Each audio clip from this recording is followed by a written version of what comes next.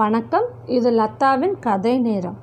ஞாயிற்றுக்கிழமை சிறப்பு கதை வரிசையில் பரமார்த்த குருவுடைய கதையை நம்ம பார்த்துட்ருக்கோம் போன வாரம் என்ன நடந்தது? பரமார்த்த குருவுடைய சிஷ்யர்கள் பூசணிக்காயை பார்த்து குதிரை முட்டை அப்படின்னு நினச்சி அவங்க செய்த கலாட்டா எல்லாத்தையும் நம்ம பார்த்தோம். அதுக்கப்புறம் அவங்க திரும்பவும் அந்த குதிரை முட்டை உடஞ்சி குதிரை ஓடி போயிடுச்சு அப்படின்னு சொல்லி பரமார்த்த குரு கிட்ட சொல்லிட்டு ரொம்ப கஷ்டப்பட்டு வந்து சேர்ந்தாங்க ஆசிரமத்துக்கு. அதுக்கப்புறம் கொஞ்ச நாள் எல்லாரும் அமைதியாக இருந்தாங்க. ஒரு நாளைக்கு இந்த குருநாதர் என்ன பண்ணார்? சீடர்கள்லாம் அழைச்சார். என் அன்பு சீடர்களே நாம் வெளியில் போய் ஒரு வருஷத்துக்கு மேலே ஆயிடுத்து. எல்லாரும் வெளி உலகத்தில் நம்மளை பற்றி என்ன பேசுகிறான்னு தெரிய வேண்டாமா? நாம் அதனால் ஒரு தடவை வெளியில் போய் எல்லாரும் என்ன பேசுகிறான்னு கேட்டுட்டு வருவோம். அப்படி சொன்னோடனே இந்த சிஷ்யர்கள் எல்லாம் சொல்கிறாங்க சென்று வருவோம் குருநாதா மடத்துக்குள்ளே இருந்து இருந்து கஷ்டமாக இருக்குது அப்படின்னு சொல்லி சொல்கிறான் அப்போ மட்டி சொல்கிறான் குருநாதா போன தடவை கிழக்கு பக்கம் போனோம்ல அதனால தானே ஆறு வந்தது இந்த தடவை மேற்கு பக்கமாக போகலாமே நம்ம அப்படிங்கிறான். உடனே குருநாதர் சொல்கிறார் ம் நல்ல யோசனை இந்த தடவை நம்ம மேற்கு பக்கமே போகலாம் அப்படின்னு குருநாதர் சொல்லிட்டார். சொல்லிவிட்டு அவர் எழுந்து உள்ளே போயிட்டார்.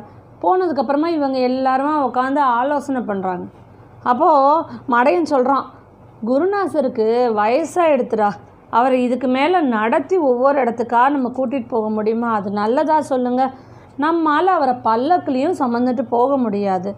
வேறு என்னடா செய்யலாம்? அப்படின்னு கேட்குறான் உடனே முட்டாள் மண்டையை சொரிஞ்சுக்கிட்டே சொல்கிறான் இப்படி செஞ்சால் எப்படி இருக்கும்? அப்படிங்கிறான். எப்படிரா அப்படின்னு கேட்குறான் பேயன். நம்ம தோட்டத்தில் கழுதை வளருதா இல்லையா? அந்த கழுதையில் குருநாதரை உட்காந்து வச்சு கூட்டிகிட்டு போகலாமா கழுதை வந்து குதிரை மாதிரி வேகமாக ஓடாது. அதே சமயத்தில் வந்து நமக்கும் குருநாதரை பாதுகாப்பாக கூட்டிகிட்டு போகலாம்ல அப்படின்னு கழுதையா?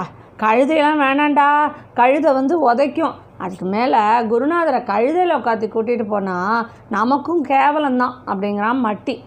உடனே மடையன் சொல்கிறான் சரி குதிரையிலையும் குரு குருநாதரை கூட்டிகிட்டு போக முடியாது. கழுதையிலையும் கூட்டிகிட்டு போக முடியாது. வேறு என்னடா பண்ணலாம்?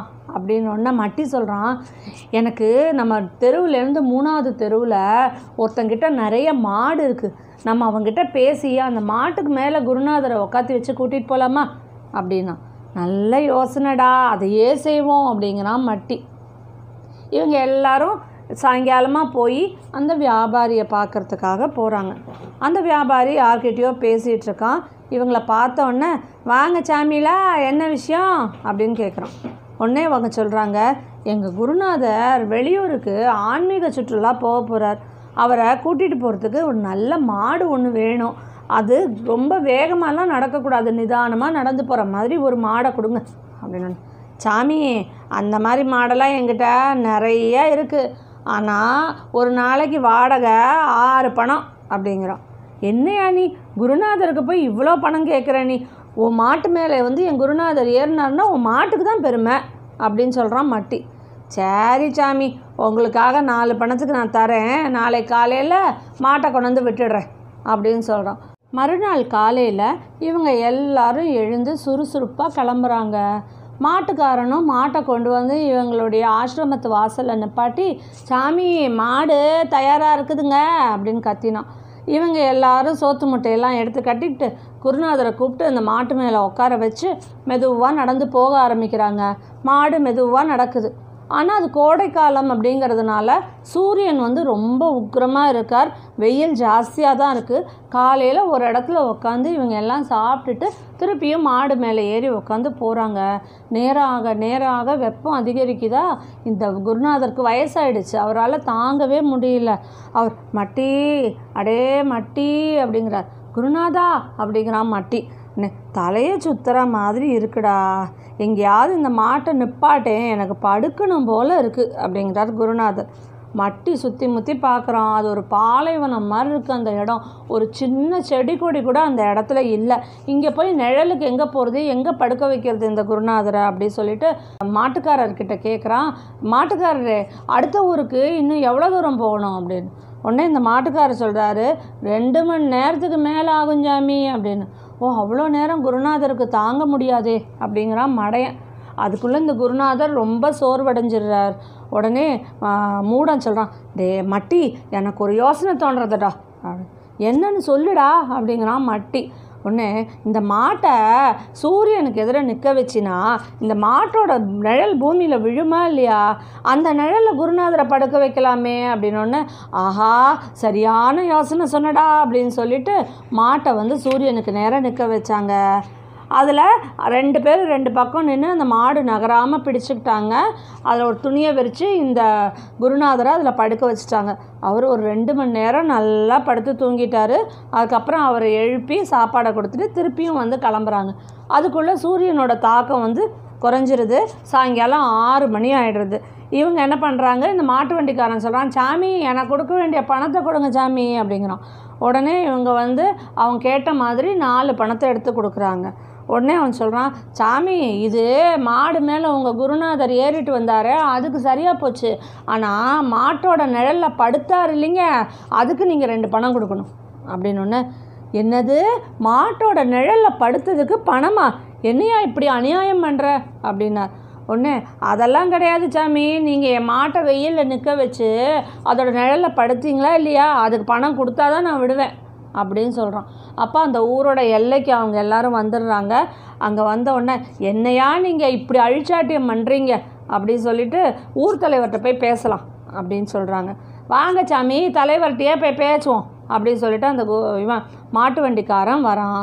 அந்த ஊர் தலைவரை போய் பார்க்குறாங்க அவருக்கு பரமார்த்த குருவை பற்றி தெரிஞ்சதுனால அவர் அன்பாக வரவேற்று உட்காருங்க அப்படின்னு சொல்லி சொல்கிறார் சொன்ன உடனே இந்த சீடர்களும் குதிரை வண்டிக்காரனும் தன்னுடைய பிரச்சனையை அவங்கக்கிட்ட சொல்கிறாங்க உடனே அவர் கேட்குறார் என்னது? குதிரையோட நிழலுக்கு வாடகையா? என்னய்யா இது?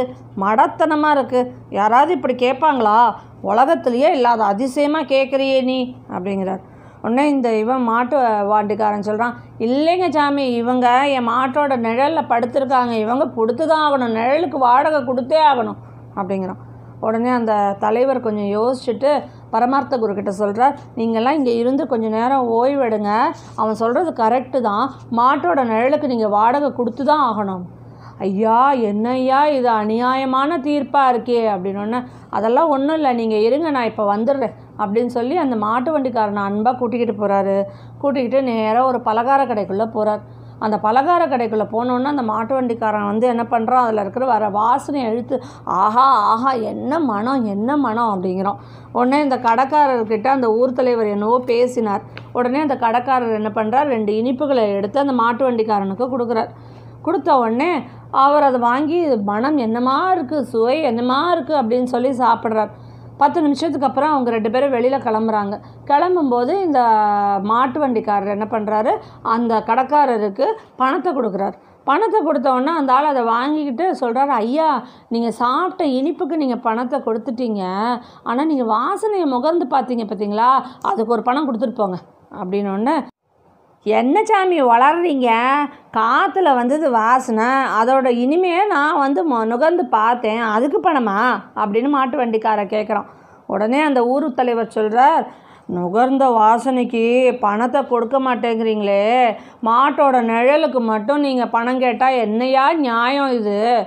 மரியாதையாக பணத்தை கொடுத்துட்டு வாங்க. அப்படிங்கிறார். உடனே தன்னுடைய தவறை உணர்ந்துட்டு சாமி என்னை மன்னிச்சிருங்க சாமி. நான் நிழலுக்கு பணம் கேட்டது தப்பு தான் சாமி. எனக்கு அவங்க தர வேண்டாம். மாட்டுக்கு அவங்க கொடுத்த வாடகையே போதும். நான் கிளம்புறேன் சாமி. அப்படி சொல்லிட்டு அவன் போயிட்டான். பரமார்த்த குரு ரொம்ப சந்தோஷமாயிடுறார். ஐயா அருமையான தீர்ப்பு. ரொம்ப புத்திசாலி நீங்கள் அப்படின்னு சொல்லி அவர் வாழ்த்துறார்.